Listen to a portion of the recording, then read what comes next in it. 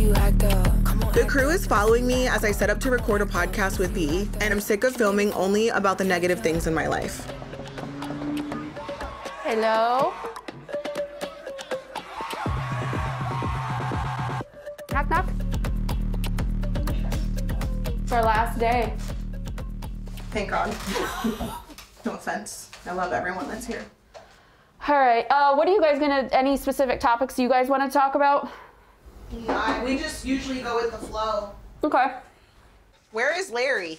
Sitting in the car.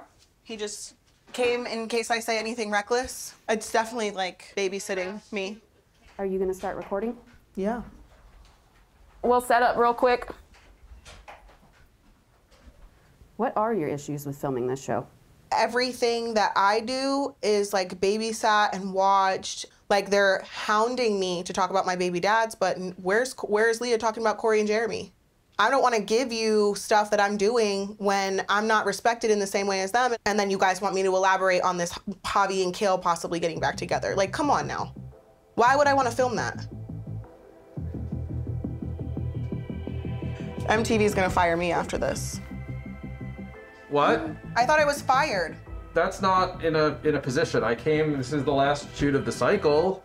You know, we definitely you did take a sabbatical for a little period of time, and then you came back. You know, I do think we have watched Leah and the the guy thing evolve. I know you brought that up earlier. Like, where are Jeremy and and Corey? Y'all don't hound anybody else about their baby dads the way that y'all talk to me about mine. That pressure me to talk about mine. Really? No. Hell no. I think it's You because four- mostly like the drama with like I- I- Chris and like I think it's less the drama and just the logistics almost. It's almost like you've got four boys, three dads, Mm-hmm. and a lot of moving around, a lot of moving pieces on how to how to move that life. And I get that, and I want to share that part. I want to share all of it with you guys. But it makes me nervous. Did you also do your podcasts when you stopped filming? Yeah. I make more money podcasting than I do on Teen Mom. I'm proud of all your success, but don't forget, this show made it possible. Love y'all.